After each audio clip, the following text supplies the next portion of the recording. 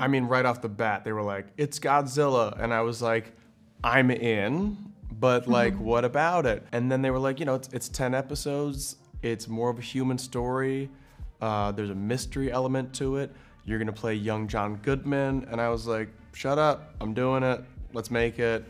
And uh, it was an amazing experience. Yeah, I think um, for me, uh, getting to play something so epic in scale I don't think you get to do that very often as an actor in this world that like monsters exist and also to be able to play a period piece in Hollywood as an Asian person was also really exciting. I don't think we've seen a lot of like um, you know Japanese American stories um, sometimes, but even then, I think it's quite rare. So to have this trailblazing woman, you know, a Japanese woman from Japan, kind of navigate a man's world in the 1950s, like the military and all these things, whilst hunting monsters and, you know, selling a fantasy was just a dream come true, truly.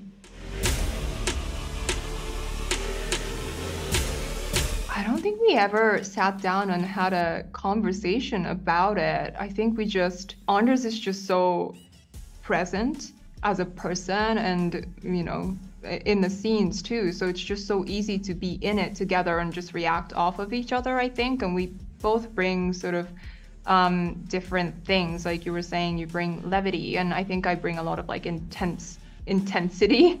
So these sort of opposing forces kind of worked in our favor, I feel. And it was on the page. You know, the characters are so well written and so nuanced. You know, those guys really know what they're doing.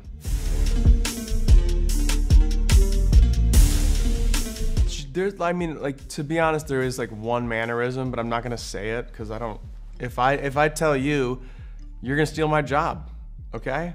But thankfully they told me I didn't have to like embody John Goodman and I was like, great, because I can't deliver that. He's got the classic John Goodman energy that we've loved for years, whether it's like Roseanne, Big Lebowski, like all these unbelievably classic roles um, that could be played by no one else, you know. So I wasn't gonna even try and step in those shoes, but uh, I brought my energy and, you know, I just did what I could do. I was ecstatic through the whole thing, I would say. But in terms of um, difficulty, the last scene of the first episode when Keiko falls to her death, that was me actually just falling on the wire over and over. So it was definitely, you know, extreme exposure therapy to my fear of height and speed and um, I think I can say I kind of conquered it. So it didn't end well for me, but you know, yeah, in mm-hmm. theory, I've conquered it. So. I'm Japanese. I'm I'm born and raised in Japan. So and I've lived here for a long time. So I do think I have an understanding of the American perspective, but I do think it's different for Japanese people. It began as a way to I think it's just so fascinating how Japanese people process the war, or in a way they didn't process the war.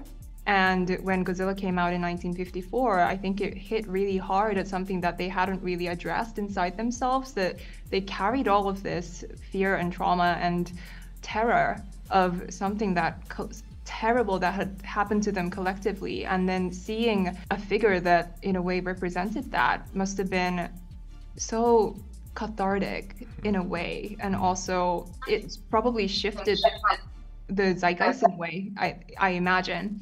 And um so that legacy continues and will always be part of how we view godzilla. And in a way i feel like the american perspective is i think people relate to the monster perhaps more there's some I, I I can see how it's just in a different way cathartic to see something so colossal not giving any you know thought to the wreckage it leaves in its wake you know? It, it's sort of satisfying to just see something destroy everything in its wake. So i can understand that part of it as well. That's kind of my thought on it yeah